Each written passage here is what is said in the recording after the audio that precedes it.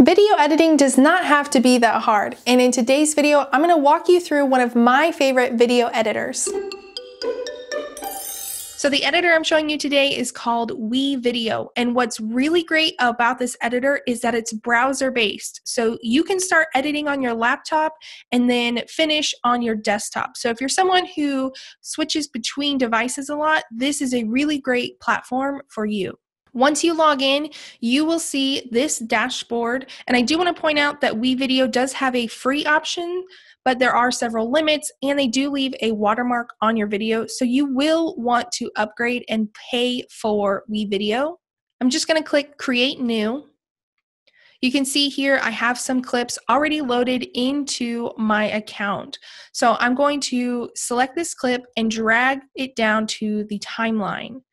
Once I get to a point where I want to edit or trim a clip, I will put the blue cursor seen right here in that spot and I can either click the scissors button or I can press the S key on my keyboard. And I'm going to drag down this white empty slide right here so that I can create a little title animation for my video.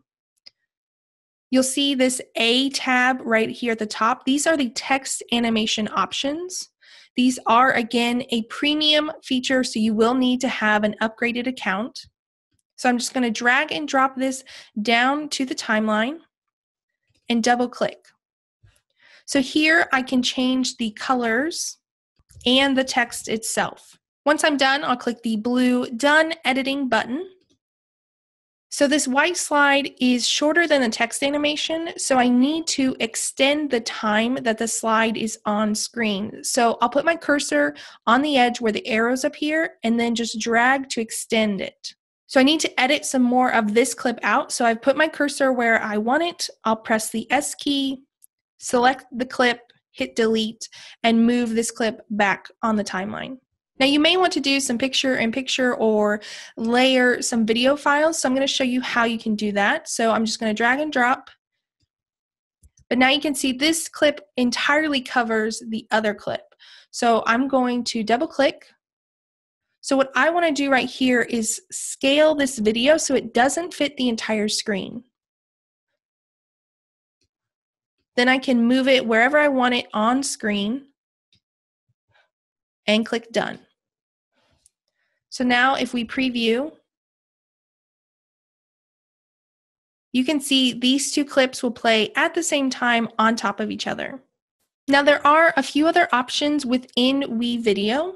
They do have some transitions you can add between clips. So if you want to see what a crossfade looks like, drag and drop to where you see the green bar, that's where it will appear in your video. So you can see how the text fades in. So you've added in your clips, pictures, text, and animation. So you're ready to export your video. So you'll click the finish button here up at the top. Name your video. So now you do have some export options. You can see here I still have the WeVideo branding because I'm on the free account and I only have one export resolution option which is pretty low res. So again to get rid of the branding and to be able to export HD you would want to pay for an account. Just choose where you want your video to export to like Dropbox or go straight to YouTube and then click finish. If you have any questions, let me know down in the comments below. And if you're new here, I would love for you to subscribe and I will see you in the next video.